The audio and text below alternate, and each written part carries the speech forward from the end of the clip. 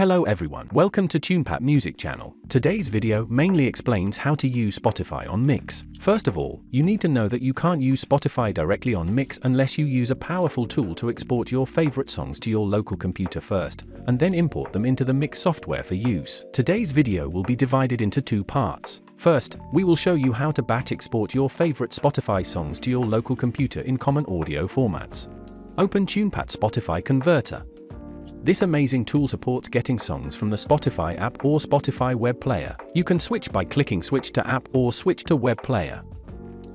After selecting the audio source, you can see a gear button in the lower left corner of the interface and a More Settings option in the lower right corner. Here, you can customize multiple output parameters. In the output format column, you can choose MP3, FLAC, and other formats.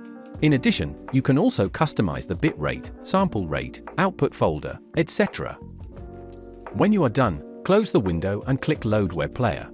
Here you need to follow the instructions on the screen to complete the login of your Spotify account. After logging in, you can find and open the content you want to convert.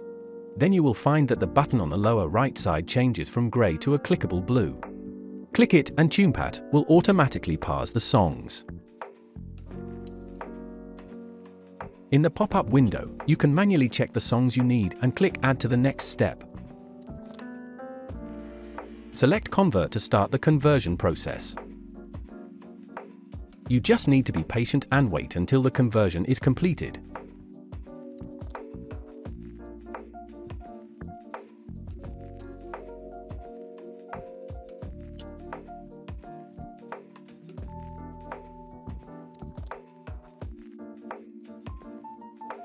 After the conversion is completed, you will get these high-quality MP3 files.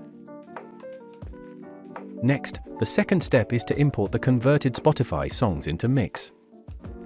You just need to open Mixxx. Then, find the Playlists option in the menu bar on the lower left.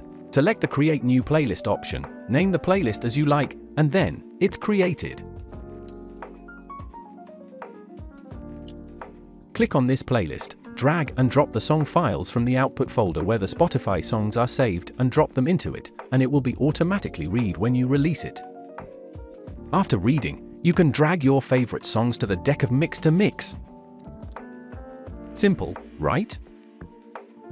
Not only that, these converted songs can also be applied to different scenarios, such as transferring to USB and then playing in cars, smart speakers, etc., importing to any software for use, setting as mobile phone ringtones or notification sounds.